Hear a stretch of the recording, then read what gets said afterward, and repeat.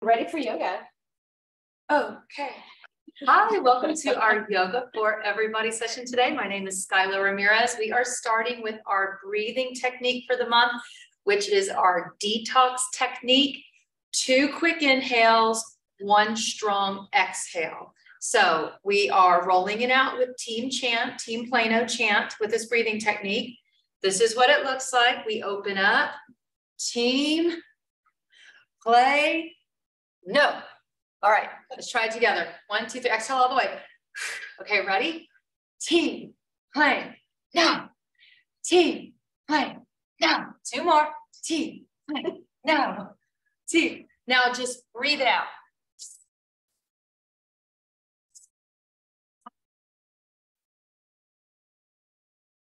Now faster.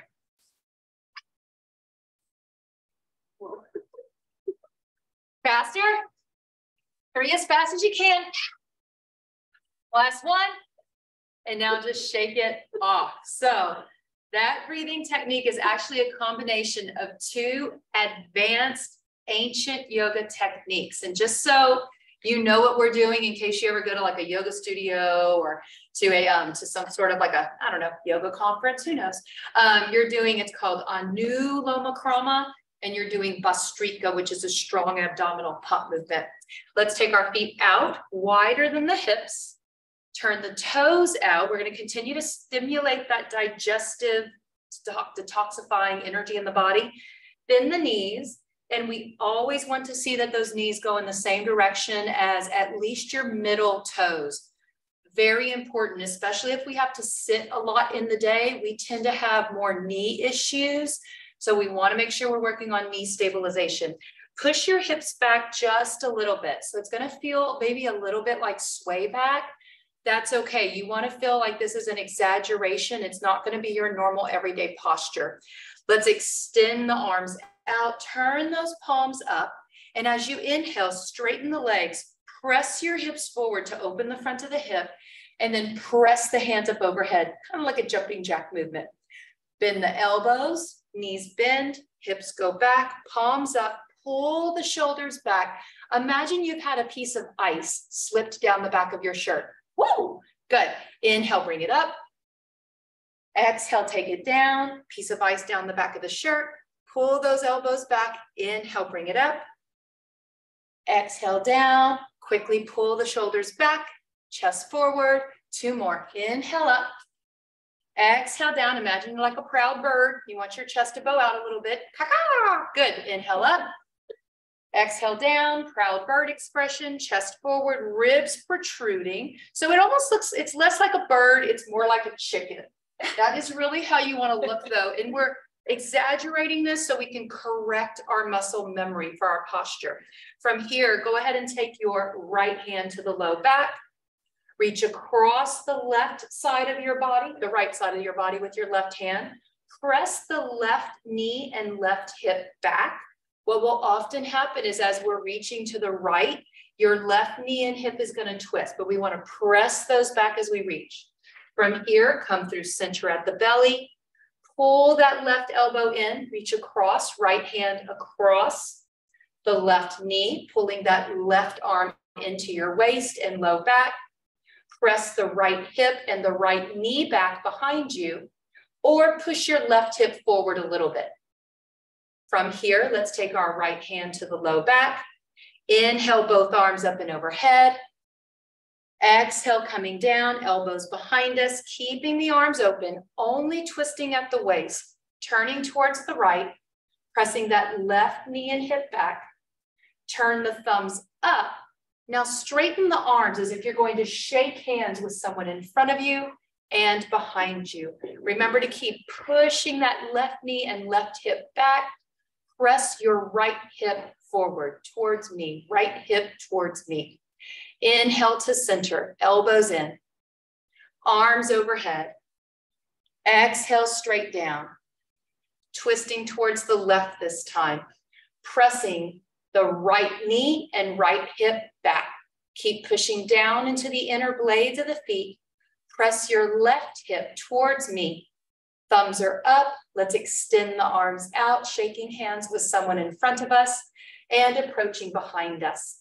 Keep pressing those knees back towards your pinky toes. Push that left hip a little bit more towards me and pull that right hip towards your back wall. Bring the elbows in, neutral position, inhale, arms overhead. Exhale, come down about a third of the way with the arms and push your hips back, palms down. Sweep the left hand in front of the right hand, keeping a flat back. Inhale, bring it all the way up and overhead. Exhale down about a third of the way. Sweep the right hand in front of the left. Inhale, bring it up. Exhale down a third of the way, left in front of right. Inhale up. Exhale right in front of left. Inhale, bring it up. Exhale halfway down, do not cross the arms. Push the hips back. From here, you're flying. Press those uh, pinky fingers back past your hip joints. Try turning the toes in and straighten the legs. So now you are working on strengthening that low back. Ooh, yeah, I saw several oohs. Your face said it all. Strengthening the muscles in the lower psoas, in transverse abdominis, even adductors. It's amazing how the smallest shift can create the biggest change in the body. Let's take the hands to the thighs, inch the feet in just a little closer, seeing that the feet are at the width of the pelvis bones in the frame of the body. Inhaling, reverse swan dive. Bring both arms up and overhead. Looking up, imagining we're holding onto a bowling ball. If we're really concerned about our upper back posture today, maybe turn your pinky fingers in towards each other and press the palms back so that we're working on correcting that upper back posture. Go ahead and shift forward and back on the feet a few times, giving the body just a little bit of a center of gravity test, a little center of gravity check-in. At some point, shift forward, lift those heels just enough to maybe just slip a paper clip under your heels. Inhale into the heart and reach up. Exhale, notice that your muscles are gonna pull down a little bit. Inhale, reach up again. Exhale, let everything pull down. One more, opening up and stretching the intestines in the belly. And then exhale. From here, let's step our left foot back, a very casual stride. Turn the palms forward. And as you exhale, bend that right knee and then twist towards the right. Inhale, bring it to center. Exhale, sweep it down, forward fold. We're keeping a bend in that right knee, left leg is straight. From here, you're welcome to pull your ribs up, flip the hips back. So again, we're stretching the intestines. We're holding it right here. Take your left hand and turn the fingers towards the right. Let's take our right hand, bring it forward, shaking someone's hand in front of us, and then circle it back. So we're using the left hand on the thigh to hopefully help us to be mindful to not over twist the trunk of the body. Also, this is for the sake of balance. If you're feeling it in your rotator cuff, bend that arm. You could always do this with an elbow circle, and it's just as rewarding to the body. Inhale, open, take it back. Last one. Inhale, circle it around. Right knuckles to the low back. Option to keep this knee, this right knee bent, if you're craving a little more mobility, if you're craving more detox, lift your left heel and turn it back so that when we look down at our feet, it's as if our feet are on railroad tracks straight ahead. You could always straighten this right leg a little bit.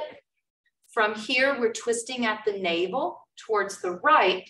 Keep pushing down hard into that left heel press into the inner blades of the feet. As you inhale, roll the right shoulder blade back and try pressing the left chest and shoulder over your right knee. This is known as a twisting pyramid or even a twisting triangle expression. You might start to have some stretch sensations on the outside of the right hip. This is meant to dig into the IT band and piriformis. Now, if you're craving a little more sensation, maybe you know that You're just curious about the stretch. You could always slide the left hand past your knee onto your shin, left hand to the right shin or left hand to the outside of that right leg, and keep pushing down into the left heel. You may start to feel some stretches moving down the calf on the back leg while it's around the side hip. This really speaks to these spiraling energies, the connections. So you could have an issue in your left foot causing pain in your right hip. Isn't that amazing? From here, breathe into that upper right lung. Remember to smile because that's the advanced version to everything when you're adulting. Big inhale. Take a tiny bend into the right knee. Interesting fact, most injuries in yoga happen when we're getting out of poses, not getting into them. Let's take our right hand onto our hip. Start pushing your left hip back and press your right hip forward to initiate the rotation. From here, inhale, reverse swan dive, both arms up. Let's step forward. Feet are at the width of the pelvis bones. Find a little symmetry with the breath shift forward and back again. Maybe turn those palms back. Option to close the eyes at any time. I will say that doing yoga with shoes is sometimes um, harder, more challenging because there's less connection to the nerves in the feet. So we're all doing advanced practices today. Let's pause and hold the heels up. Inhale, reach at the top of the breath. Notice that the lungs give you a little more mobility. Imagine you're climbing a rope. And then relax. Two more. Inhale, big reach. Climb the rope. Relax. Inhale, reach. It's okay if your body gets wobbly. It's okay if you lose your balance. It's great to learn your tipping points. And if you fall over, it's padded and it's carpeted. You're all right. From here, let's keep the arms up, drop the heels, stepping your right foot back, keeping a bend in that left knee. Hold it right there. From here, as we exhale, we're going to swan dive those hands down. Hold it there just for a moment. Push the hips back. And then notice already before we before we go anywhere with this notice already what the feet are doing it's very natural for the back foot to turn out since we're going to eventually twist let's go ahead and pick up the heel turn the heel back both toes are tracking forward you could also squeeze the right buttocks region a little more here more access to those buttocks muscles let's extend the arms back behind us airplane position. Inhale, pull up through the ribs. Maybe open the throat a little bit, especially if you know that you've had to look down a lot today at a lot of paperwork, or maybe just the height of your monitor in proportion to your chair keeps you looking down a little, then go ahead and lift your chin. Definitely don't want to lift so high that there's pain, but it's okay to open up like this. Let's take our right hand over to the left thigh Fingers are facing out to the side. We're sweeping our left hand down and around, opening up, press into the inner blades of the feet. As soon as we begin to circle that arm, and, and we're going to be circling through the trunk of the body a little bit, we might notice that we get a little wobbly and shaky. If you notice you're losing your balance, congratulate yourself for even noticing. That's why we do yoga, just to notice things. That's it. And if you're thinking about your wobbling body, you're not thinking about other things. That's okay. Inhale, open, try looking back and tracking the movement of the hand. Notice that as we track or move our eyes and shift our gaze, it makes it a little more complex. One more, inhale, open. Let's take our left hand to our low back option to straighten the left leg. So I will say this, as soon as we straighten the left leg, it puts more pressure on the sciatic nerve, and that's really common. So if your low back is achy, make sure you keep that little bend in the knee. Let's roll our left shoulder back. Try pressing the right shoulder and armpit over your left thigh. Push into the inner blades of the feet. Press back hard into the right heel. Relax your jaw. Maybe on the next exhale, notice if you twist more. Inhale in place. Open the mouth, relax the jaw, and twist. Holding it there. Looking back and over the shoulder is usually more challenging than looking forward. When you're ready to safely come out of this, left hand to the left hip, bending our left knee. We're moving from the pelvis bone first, not from the spine. Think about pushing your right hip back and left hip forward. Right hand can come to the hips. From here, stepping forward, feet are at the width of the pelvis bones, knees are soft. Inhale, sweeping the arms overhead. Exhale, taking the hands back and around, sitting back into chair pose. Holding it here, traditional chair pose. We're pressing in. Imagine you have like a big squishy Nerf football. So there's a little bit of like a spring back in that energy in your hands. Retract the shoulder blades or just act surprised. There you go. That gives you a quick little boost in your posture.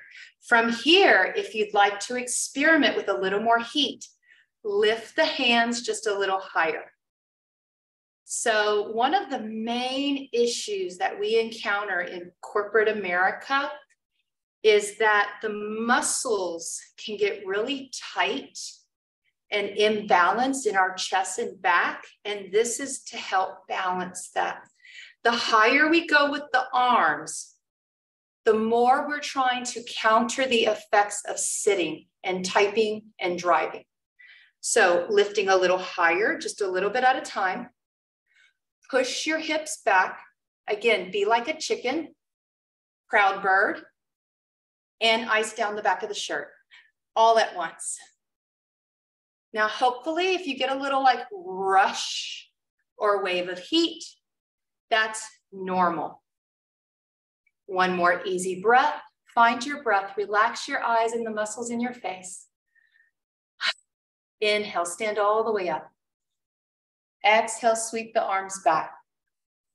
Let's practice a few heavy breaths. Inhale, sweep it up.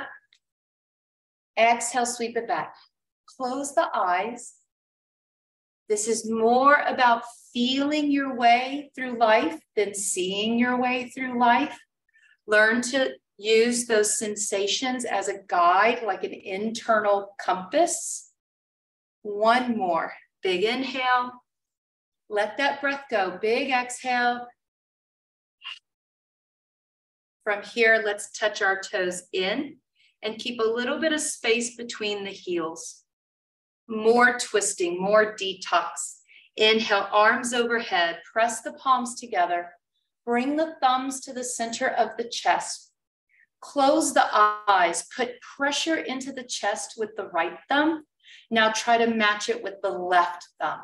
So already we're attempting to balance both hemispheres of the brain. So we have messages that are a little more balanced to both sides of the body. Now, when you feel ready or when your body is ready, start to bend the knees and flip the hips back, coming into a chair with a more narrow stance. Let's take our thumbs over to the right armpit without moving our shoulders, rotating at the navel towards the right. And it may only be an inch or two of mobility. The lower back and belly actually are not very mobile joints. We usually use our upper spine prematurely and that jams up the lower back. So we're trying to prevent injury through this mindfulness. From here, we're twisting to the right. Push your right hip forward while your right shoulder goes back. So opposite energies, right hip forward, right shoulder back. You're creating a corkscrew in the body. Come down a little deeper. Just a little bit goes a long way. Remember, you don't have to do a lot in yoga. The bigger movement is not the better movement. Let's look over our right shoulder, tuck the chin in, securing the energy in your throat. That throat energy is responsible for all sorts of mind stuff. Stay here, exhale all the way. Bring the chin to your chest. Pause. Pull the muscles in the pelvis up. On the count of three, act surprised. One, two, three navel in and up, twist a little more, push that left hip back, push your left knee back. When you're ready, release that contraction, thumbs to the center, chest to the center, palms to the thighs, relax the upper body and straighten the legs. Let's shake the head yes and turn it left and right. Find a still point. Big exhale from your throat with a sigh bending the knees. Let's draw our hands to the thighs and straighten the arms, propping up our back. Arms go out to the side, reverse swan dive. Exhaling, palms together, thumbs to the center of the chest. Holding it here, closing our eyes. Right thumb presses into the chest. Match that pressure, match the feeling on the left side. Eyes can stay closed or open. Start to bend the knees and then flip the hips back. From there, lowering down into our body's expression of a safe chair pose. Sliding our thumbs over to the left crease of the armpit. Thinking about only swiveling at the waistline. On the next exhale, maybe only swivel one inch hold it there. Option to look over the left shoulder. Pull the muscles up in the pelvic floor and squeeze the inner thighs in towards each other. Twist a little more, maybe just one more inch. From here, we're bringing that left shoulder back a little more, adding in a bit more of a rib cage twist. Push your left hip forward, left hip towards me press your right knee back and the right hip back. So we're propping up that hip joint. Relax your jaw. Anytime we work with the jaw, hips, low back, pelvis, they are all connected. They communicate to each other. Hold it here. Inhale, bring the chin in towards the chest. Exhale all the way. Pull the muscles up in the pelvis. Hold it there. Surprise. Three, two, one. Belly in and up. Deeper twist. Just one more. And now bring it to center. Thumbs to the center. Palms to the thighs. Bend the elbows. Slowly lower the neck and head. Straighten the legs. Soften through your hips. Exhale from the throat at least a couple times to relax the jaw and the hips.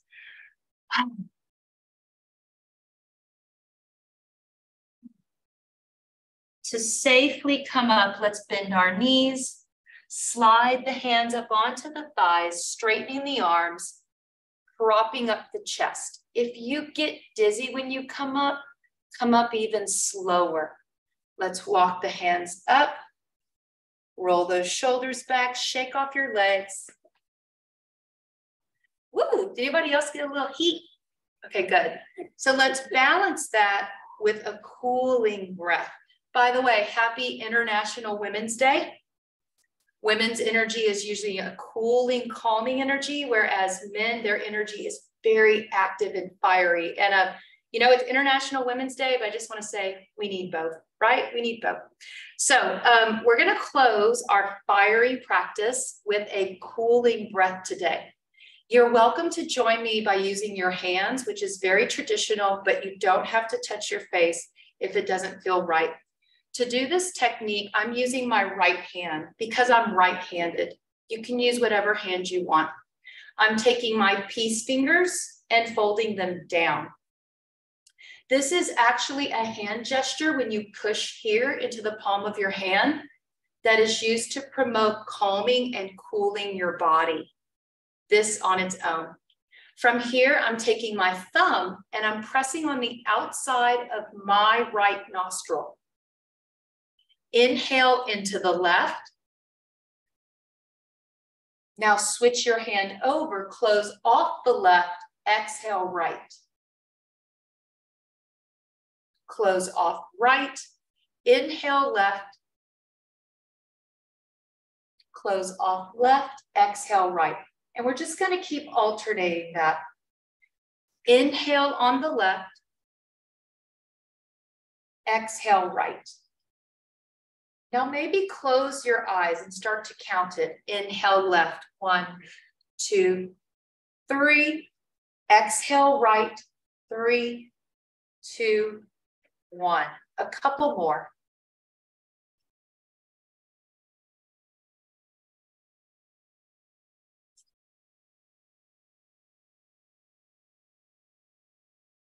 One more full cycle of breath, no matter where you are.